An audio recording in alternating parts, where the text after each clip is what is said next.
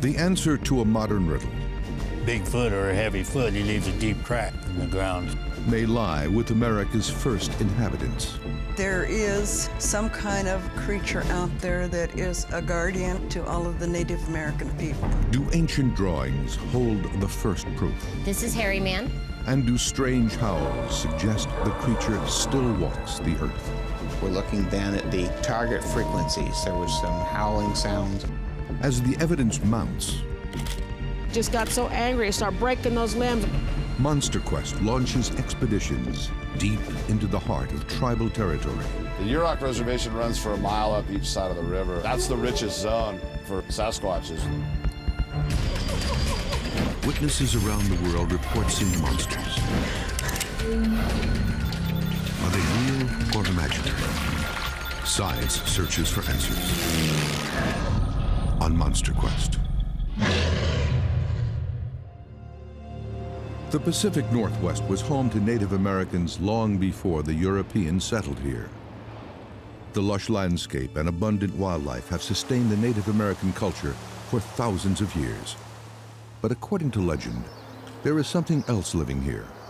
A large, hairy beast known to many Native Americans as Hairy Man. It was long as our boat. Tall in the ceiling. That wide. His two big eyes looking at me. It was huge. It wasn't no bear. It was big. Even when he was squatted down, washing his hands, it was still darn near as tall as I was. Eyewitnesses describe the hairy man as similar in proportion to humans, only much larger, with heights ranging up to nine feet tall. It is overwhelmingly muscular, with some reports describing a creature that easily hurls large rocks. The creature is covered in coarse dark hair and has piercing eyes. The history of what many tribes call hairy man is documented in stories handed down through the generations. David Severns is a member of the Yurok tribe and recounts the story that he grew up with. There was a time we believe, I believe, that we lived in harmony with the animals. We had this communication abilities with them. And then some say that when man started to get thinking he he's better than the animals, well, the animals quit talking to us and quit having anything to do with us. Including the creature many people know today as Bigfoot. My grand kind of referred to them as ancient people, not as an animal per se, a dog uh, or any other animal, but like us, but just choose not to live amongst us because the way we act. Native American legend tells of a peaceful creature as long as it is left alone. We're told here to let them be because they're here. And if you don't bother them, they won't bother you. Yurok tribe member Margaret Carlson also tells of a more threatening side to the beast. We're taught not to look at them directly in the face because they can kill you if they want to. While stories of a Bigfoot like creature abound in the Native American culture, there may also be archaeological proof that it in fact did exist, at least at one time. The Hairy Man pictographs have many elements to them. Kathy Moskowitz Strain is an archaeologist and anthropologist who has worked with the United States Forest Service for 18 years. Strain manages archaeological and tribal artifacts within California and consequently works very closely with the tribal community. Moskowitz Strain has renderings of actual Native American pictographs that may contain a bombshell, one of the earliest records of Bigfoot. The Tule River Indians call Hairy Man, and they have a traditional name for him is Maya Dektek, and that means hairy man. Hairy Man, the father, who's about eight foot tall, then over to his right, you have a, a female mother Bigfoot, and you have a baby Bigfoot that's right underneath her hand. The pictographs were cataloged on the Tule River Indian Reservation near an ancient village in California. Their age predates the arrival of European settlers by at least 500 years. We know that you put villages where rock art already was. So they're like the villagers would be protecting that rock art. We know this is a very important place. The artifacts from the village are about a thousand years old. So we know it's probably a little older than that. Pictures of a hairy creature, thousands of years old. Moskowitz Strain points out that pictographs will sometimes show known animals next to the hairy man. Does this mean Native Americans were not drawing a mythical beast, but like the coyote and eagle, something they actually saw? And they incorporate it just like you would eagle or coyote or any other animal into their traditional stories, into their artwork, into their basketry, because it was a part of what they saw all the time. And so science, I believe, should recognize that and think, well, maybe this isn't just a myth. The images are life-sized and are amazingly detailed. They range from four feet to over eight feet tall.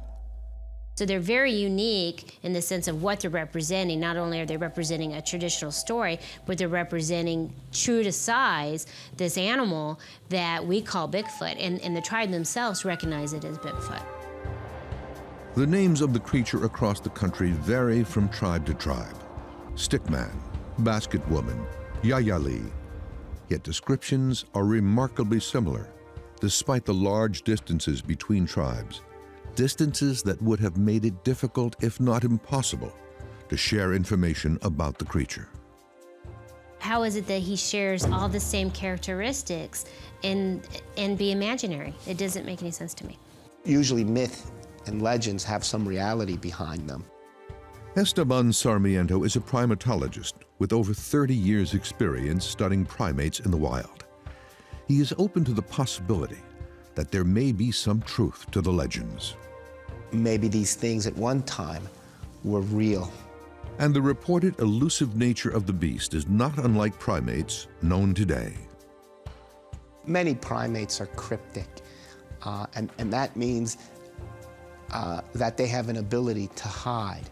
So when you walk, say, in a forest, they're all hiding, looking at you, and waiting for you to get to a point where if they feel you're dangerous, they're going to come out. However, Sarmiento suggests that the evidence may not currently support Bigfoot's existence. It'd be very unlikely that they wouldn't have bumped into its remains, either a feces, hair, or skeletal. And yet, throughout history, people have continued to report encounters, like Arvada Fisher's experience back in 1976.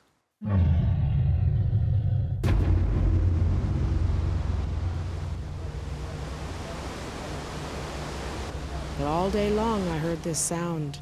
It was such anguish, a scream that was way downstream. Arvada Fisher is a member of the Northern Sierra Miwok tribe near Sonora, California. She describes a terrifying evening while camping with her husband in Northern California. And I had this feeling something is watching me. So I leaned back like that with the flashlight in my mouth and I see two eyes up real high. And in my mind, I'm trying to think, I don't remember an embankment over there during the day where something would be standing that high. But it wasn't until later that night that she and her husband got a good look at what had been watching her. I looked like that, and you could see the whole outline of Yayali. He was like this, just standing there, looking right at us, like 15, 16 feet away from our camp. At that time, the dogs caught its scent. And the dogs come running across, and it just got so angry, it started breaking those limbs. It was like 14 feet up in the air, was breaking those limbs off. And we're not talking little bitty limbs. When we examined it, they were big limbs. In my way of thinking, it seemed that uh, it was upset because the logging was going on, and it disrupted its habitat. It is a common belief among many Native American tribes that Bigfoot is a guardian of the earth. Others say that, at the very least, the creature could be a real animal trying to survive in a diminishing range. I, I really believe that there was a Bigfoot about 50 yards away uh, in the brush. In 2007, state wildlife veterinarian Dr. Briggs Hall had his own mysterious encounter.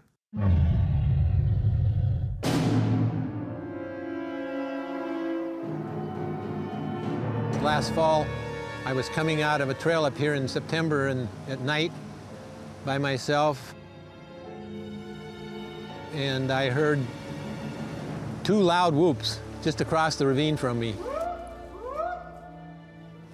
And so I, I whooped back. Whoop! Whoop! I waited, heard nothing. And then because it was dark, I scooted on down the trail. As a big game veterinarian for the state of Washington for 14 years, Dr. Hall is very familiar with the native wildlife in the area. There's no animal up here that whoops. I mean, that's, that's a primate, that's primate behavior. Hall's personal experience leads him to believe there may be something to the Bigfoot stories. I don't know how anybody can rule out the possibility that there could be a Bigfoot. I mean, there are so many sightings, there are so many uh, people who hear unusual sounds in the forest and things like that, that for someone to just absolutely rule it out, uh, I, I think we need to keep an open mind. Hall's desire for answers drives his return to the location where he heard the sounds in 2007. It is here in the Suiattle River Valley in Washington state, only 70 miles from Seattle, that Monster Quest will launch the first of two expeditions. Briggs Hall will travel deep into the forest in search of tracks and set up baited game camera traps. Experts will analyze purported Bigfoot sounds recorded across the country, while another expedition will use those sounds to attract Bigfoot on the banks of the Klamath River, 275 miles north of San Francisco in Northern California.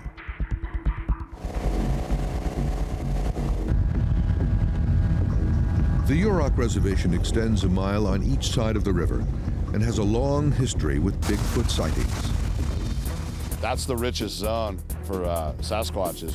The confluences of those major drainages that come in when they hit the rivers, those big creeks that come in. The Yurok tribe has granted experienced Bigfoot researchers Jim Fay and Cliff Barackman access to the remote location. A rare opportunity to explore an area previously off limits to Bigfoot researchers. Tonight we're going to go up to uh, Pecwan River drainage where it empties into the Klamath and uh, we're going to hit Pecwan and Blue Creek and a couple other larger drainages all the way down the river. The plan is to position the boat upriver and at nightfall let the heavy current carry the boat quietly downstream while broadcasting supposed Bigfoot calls to elicit a response. They will record any return calls with digital audio recorders fed by parabolic microphones which are able to gather sounds from great distances. In addition, they will monitor the shoreline with a thermal imaging camera to capture any movement prompted by the sounds. Uh, we're going to call blast up the valleys and stay put for a few and listen real hard. And if we don't get a response in, say, half hour, 45 minutes, we are going to, without the motor, quietly drift down the Klamath River uh, using the thermal imagers to scan the shorelines for any signs of large mammals and listen in really close for responses with the recorders running. I don't think that's ever been done before. If Bigfoot is hiding under the cover of darkness, their sensitive equipment will expose him. Maneuvering the boat through the treacherous Klamath current are Yurok tribesmen Peter Thompson and Larry Walker. You got rocks, you got snags in the river. I mean, you hit a bank, you can get pushed sideways and sucked down. Depends how strong the current is, because there's some spots on the river where it's really strong current. Running a jet boat on the river, it's a skill in itself. You have to pay attention to what you're doing. A lot of things in wintertime come down, especially when it's high water. You get something sucked up in your jet, it'll, you're done. I mean, then you're Hopefully you can get it out in time before you run into the rocks. The expedition begins by heading upstream, taking care to note any outcroppings or disturbances in the water to avoid on the return trip. With a clear night and a bright moon, the weather is on their side. But the river will prove to be a formidable challenge. As soon as I heard the rocks starting to scratch the bottom of the boat, I knew he was in trouble.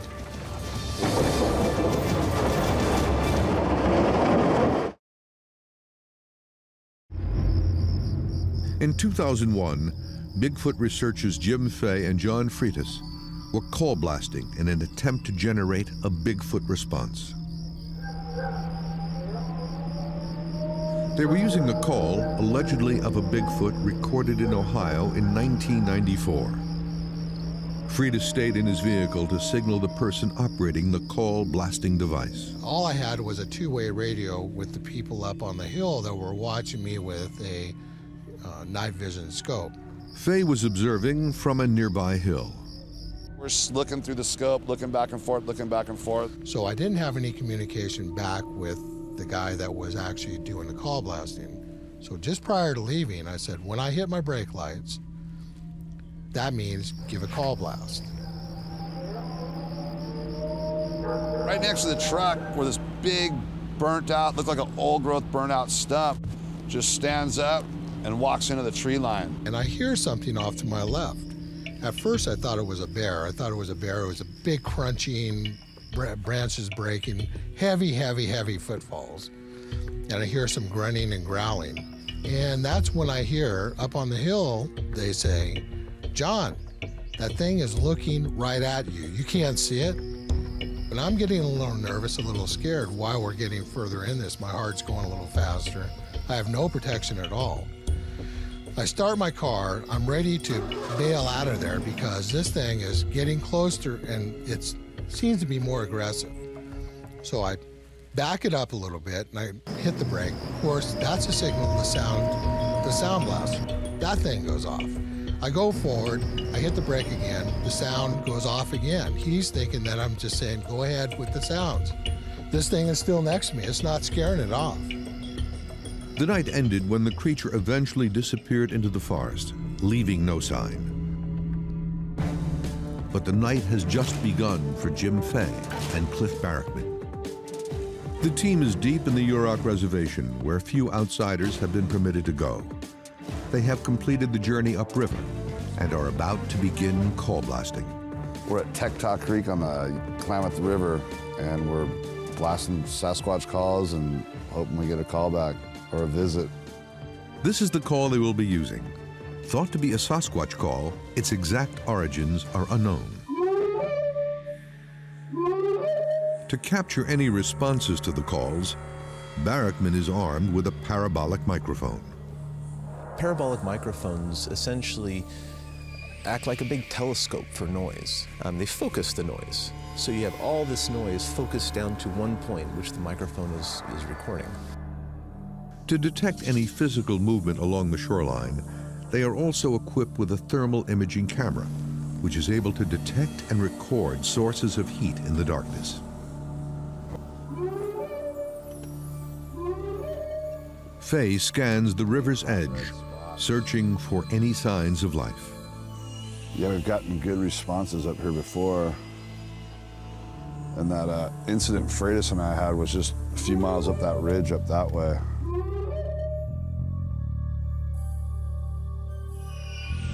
As they make their way downriver to the next point, each member of the team is on the lookout, either for signs of Bigfoot or for hazardous conditions on the river.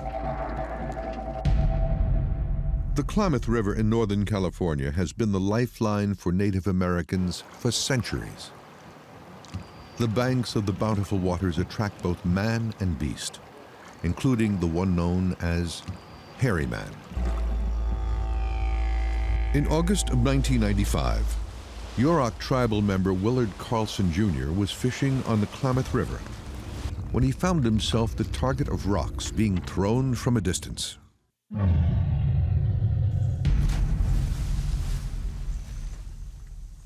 It was, it was huge. It wasn't no bear. Something across the river was throwing some large stones, called like a river bar rock, you know, probably this huge. Throwing with such great force from a great distance. Um, they landed in the water with such great force, it sounded like they would hit the bottom and hit another rock. I don't have no gun, and so I started getting my boat and whatever it was, it went ahead and kind of growled. And he and it turned away and walked up the hill. You could just hear crunch, going through the brush.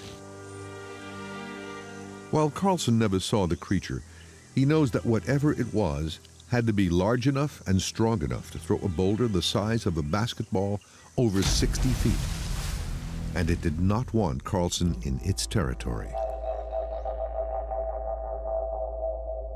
Rock throwing, experts say, is a technique used by great apes. It's a characteristic of, of great apes to be able to throw. You know, not just, you know, a short spastic throw, but pretty good distances, a, a decent amount of weight. It will throw a rock at you out of aggression. It will drop things on you out of aggression. It could be a defense, not necessarily an aggression that I'm going to go and get you, but an aggression not to come near me. If you come near me, this I'm going to make you feel uncomfortable by yelling and throwing rocks. And it was primate-like yelling that has lured Dr. Briggs Hall back to the Suiattle River Valley. The Suiattle River Valley has a long history of, of Bigfoot activity. Hall is embarking on a search to find evidence of a creature he believed bellowed at him in 2007.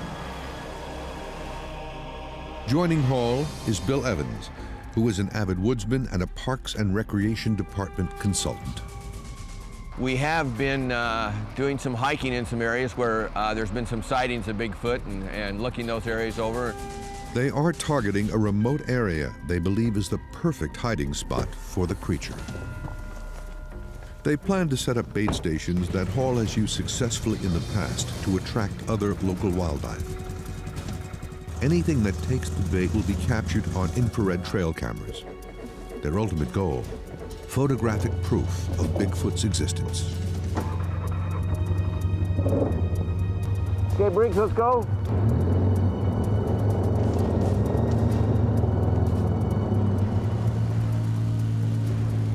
About three years ago, during a, a severe winter flood, uh, the road going up the valley washed out in four places. And since then, uh, not a lot of people have been able to get up there. With the, the significant decrease in human activity, the chances that, that, that these animals would come down closer to the river uh, probably goes up. Hall and Evans plan to take all-terrain vehicles as far as the terrain will allow before they must abandon them and make the rest of the climb on foot. Okay, we got about 12 miles up here to go. There shouldn't be any snow. We should be just fine, so we'll load up and we'll head on up there.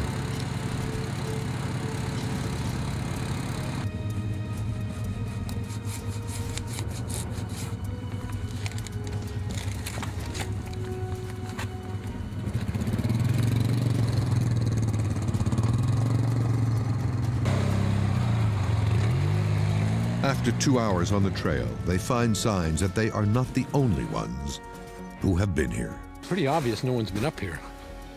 Uh, as, as we can tell from the lack of tracks in the snow and the, all the timber we've had to move out of the way, but look at this. What? Yo, look at this. Huge imprints here.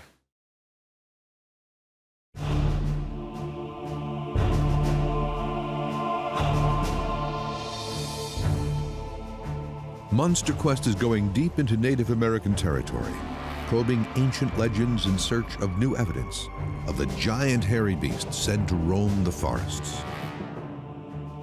That's what we would call, and would be a Hete Bigfoot, Heavyfoot. Miwok tribal member Tom Carson tells a remarkable story of his encounter with a Bigfoot while out hunting near Lake Tahoe.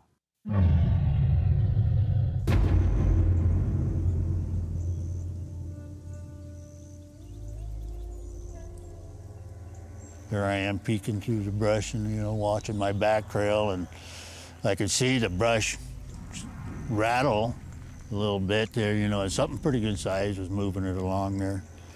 So I'm standing there looking like this and looking like this, and all of a sudden I see this brush just part like this, and there's two big eyes looking at me. You know. We make eye-to-eye contact, and there's this all of a sudden I jumped up and I thought emptied that 30-30 rifle at it. Where it turned around and walked downhill and stood up. And my uncle, he was able to follow me up there. And I showed him where it happened, and he said, so you shot and emptied your, um, your shells at this guy, huh? And he said, yeah. And he said, well, you picked up the shells, and there they were. I'd never pulled a trigger one time.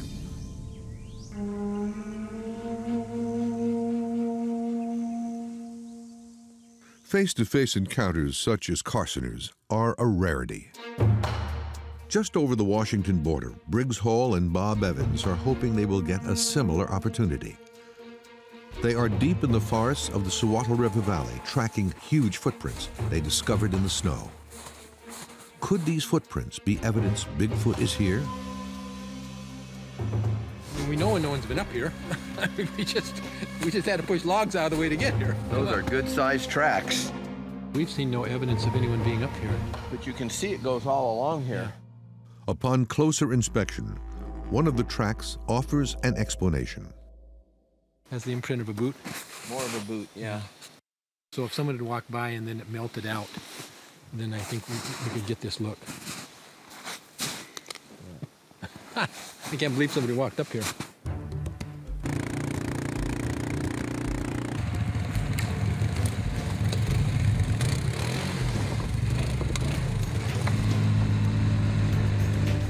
As they continue on, the route Hall and Evans are traveling proves to be more difficult than anticipated. Counted way more blowdowns and way more logs in the road, and what, what should have been a 40-minute ride was ended up being several hours with a, quite a bit of difficulty. After finally making camp for the night, the team settles in for a good night's rest. Well, hopefully you've set up camp before in the dark. Took us a little longer, but we got it done. Ate some dinner about 9.30 and sometime got in the rack about uh, 10 o'clock, 10.30 at night. Hall and Evans are back on the trail at first light. The pair must now continue the trek on foot. They have a full day ahead. And Hall plans on setting up trail cameras in three different areas. The first in the area he heard the strange whooping sound. What I want to do is I want, I want to go over there and set one of the cameras up on top of that ridge over there. They begin by baiting the area with salmon.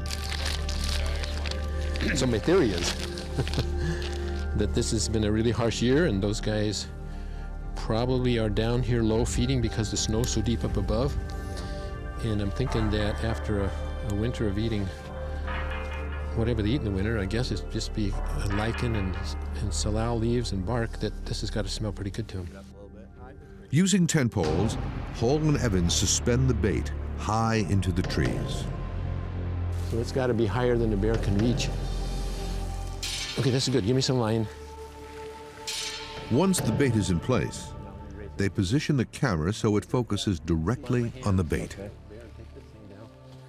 Hall is using a Reconyx camera system with an advanced imaging capability. The infrared night vision flash is invisible to animals and captures nighttime images with amazing clarity. I have a clear shot of if some anything that stands underneath the bait. With camera number one in place, the team heads out for their second location. This one will utilize a natural food source in the area for bait. Well, I anticipate that the skunk cabbage will be breaking through up in this area in the next week or two. It's, it's, a, it's a beautiful plant. It has broad, bright green leaves and a beautiful yellow flower, a very, very strong odor, hence the name skunk cabbage. The bears focus on it, and Bigfoot is thought to feed on basically the same thing as bears. 15 feet in front of the camera, Hall uses another pungent scent to appeal to the Bigfoot's sense of smell. We hung up some garlic, which has a powerful smell, and but we're hoping that when animals come into the wetland to feed on the skunk cabbage that they will pick up uh, the smell of the garlic and be attracted in front of the camera. With the second camera in place, Hall and Evans head for the river to set up camera number three. While Hall is hoping to capture photographic evidence of Bigfoot, audio recordings of sounds believed to belong to the creature are undergoing analysis. We want the biologists to be able to hear it in its best, most accurate recorded way. Greg Stutchman has been an audio forensic analyst for over 16 years. He has received recordings used for call blasting. He has removed any extraneous noises so that the sounds can be sent to a bioacoustics lab for identification.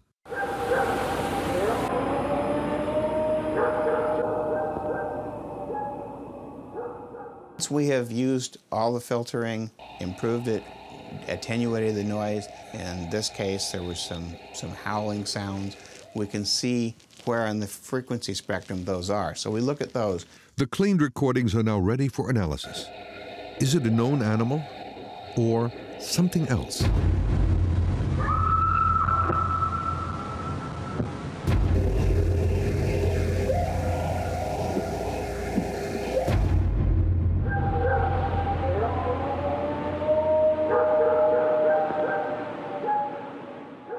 Frequency and pitch are used often synonymously in this particular area of study. Dr. Joe Fox is a professor of biology at Texas A&M University. He will analyze the sounds in an attempt to rule out any known creatures. Fox's initial comparison narrows down the list of possible matches. We came up with a list of about 15 or 16 vocalizations of other animals. We sort of looked at how they corresponded in terms of physical characteristics to the other sounds that we had.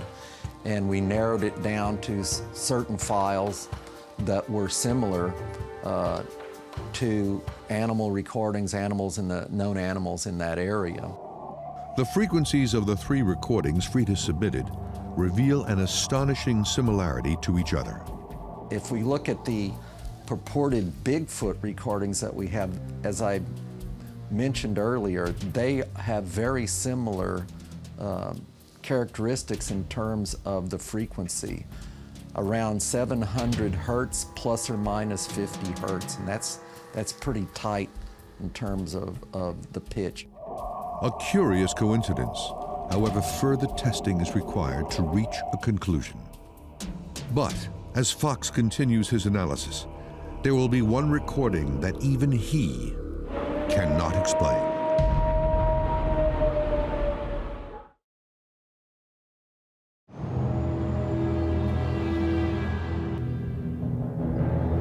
Long before the Europeans settled in this country, Bigfoot was part of the Native American culture. Stories of the tall, hairy beast were handed down from generation to generation, both in spoken word and in their artistry. Many of those stories held a warning. In a lot of Native American stories, Bigfoot carries a basket just like this on his back, and he goes and finds children that aren't doing what they're supposed to be doing. They're away from their family, they're not listening, and he gathers them into the basket. Usually, he has sticky hands and he's picking them up and then just slapping them right in there. And then he takes the basket home, and the children then become his dinner. As a young man, David Severns had his own experience with the hairy man.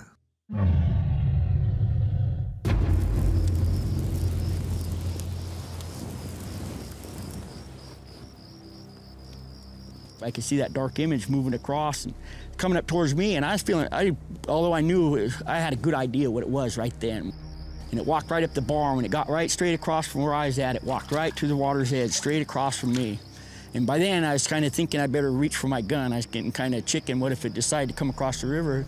And I tried to reach for that gun. I'll, I'll tell you, I was just like petrified. I just couldn't grab that gun.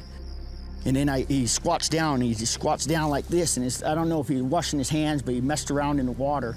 And his head's up, it's not like he kneeled down to look at his hands. He's looking at me straight across from him. And then he just stood right back up and then turned around and walked right up that hillside after he crossed through this little puddle of water.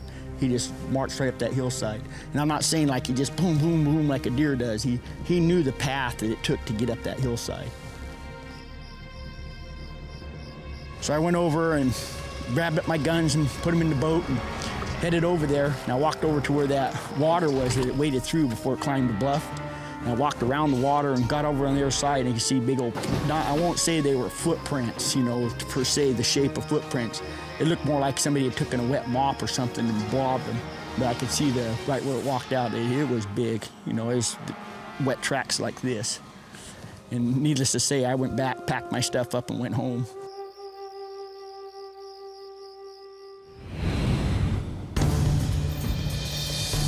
Just upriver from where Severns' encounter took place, Jim Fay and Cliff Barackman are attempting to lure Bigfoot out of hiding.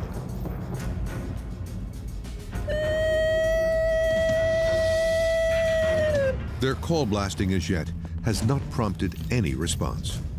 So we're uh, drifting down the Klamath at night with no lights and no motors in high water. It's a little sketchy. It was hard to find anyone willing to do this. It's a little dangerous. And we're just therming, looking for um, anything hot, anything moving, even anything just hot. It could just be head or a shoulder peeking around a tree or a boulder. And suddenly, movement. But the team quickly discerns it is a herd of cows on the riverbank. Call this creek right here is called Bear Creek. It's nice and wide and it goes deep back in there. So we're gonna make a call before we float by. That way it has time to echo up the canyon and maybe time we float by at the mouth of the creek, we'll hear a response. As they focus their attention on the shoreline, the unexpected happens.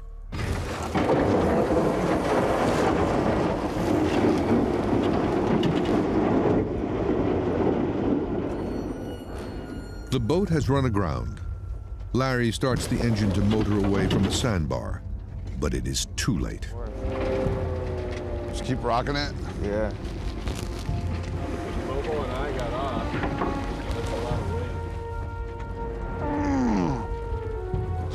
Several members of the crew have to jump into the freezing water to free the boat.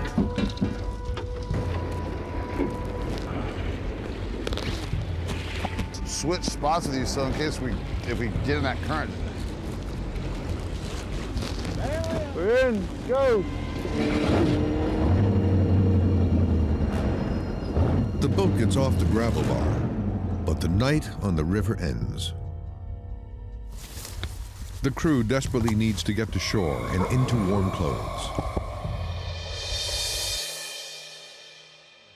600 miles away, Hall and Evans have arrived at the Suiattle River's edge looking for a suitable location to set up their third and final camera trap. Bill, I like this. Let's go right up and get in this little flat right there. Okay. And then I think anything moving up and down the river is uh, going to be coming through that area.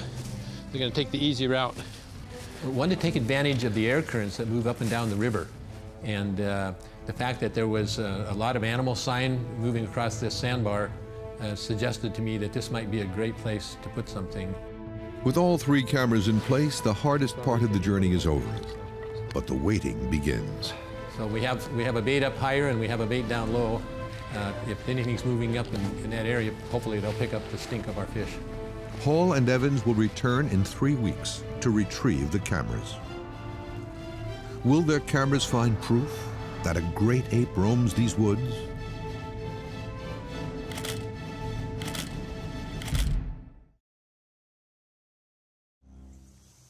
Unusual screams and whoops have long been a hallmark of Bigfoot encounters. Briggs Hall heard them himself in a remote area of the Suiattle River Valley in Washington. There's no animal up here that whoops. I mean, that's, that's a primate, that's primate behavior. 17 days have passed since Evans and Hall baited their camera traps in the hopes of getting proof of the animal. The first thing they notice is that something is missing. Oh, the Bait's, bait's gone. gone. Bait's, Bait's gone. gone. Let's. Oh, wow. Hopefully, we got some good pictures here. The salmon used as bait had been hung at a height of 12 feet, seemingly too high for most animals to reach. What then was able to take the bait? Perhaps the cameras have the answer. Counters on the camera register a total of 340 photos. Hall and Evans hike out of the forest as quickly as they can to get back and see what the cameras have captured. The first camera had little activity, but the second was visited by a deer. And the third camera, down by the river, had even more visitors.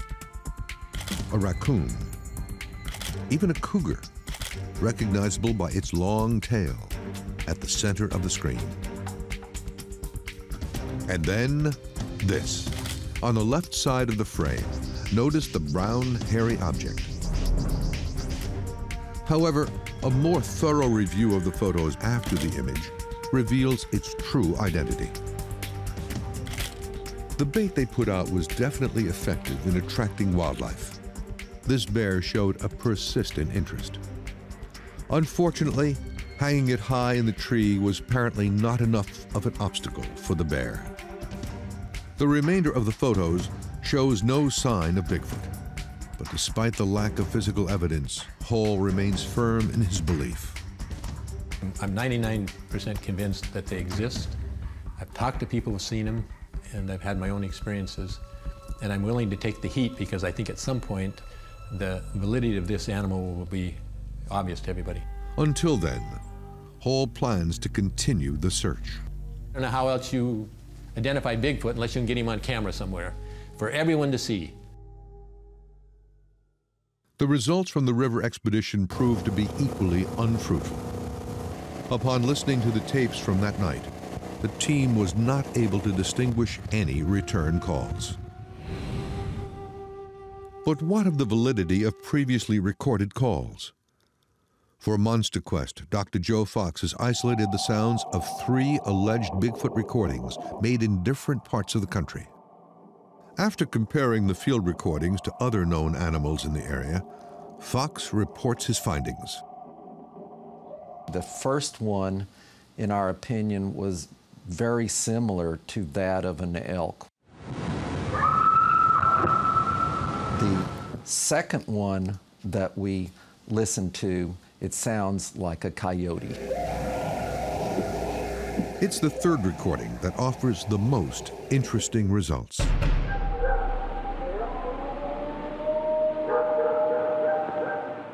It is our opinion that those recordings don't resemble any recordings of or vocalizations from animals that you might find in that area.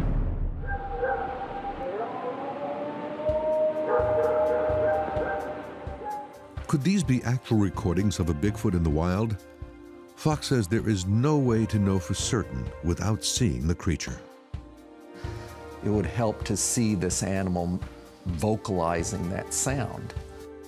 But some scientists say the chance of that happening is very unlikely. Given that the country's pretty well explored and no one has ever found any skeletal remains, and these things must have lived and died.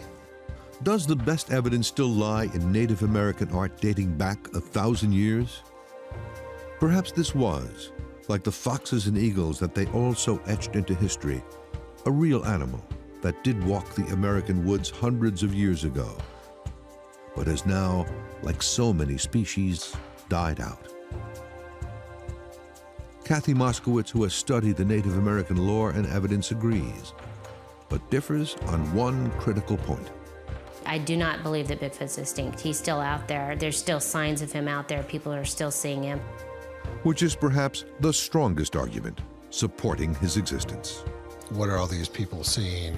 Uh, these vocalizations that are recorded. Bigfoot, I believe, is spirit of the land. There's an old Chinese proverb, and it's, uh, what's the smartest animal in the world? And it's the one that hasn't been discovered by man.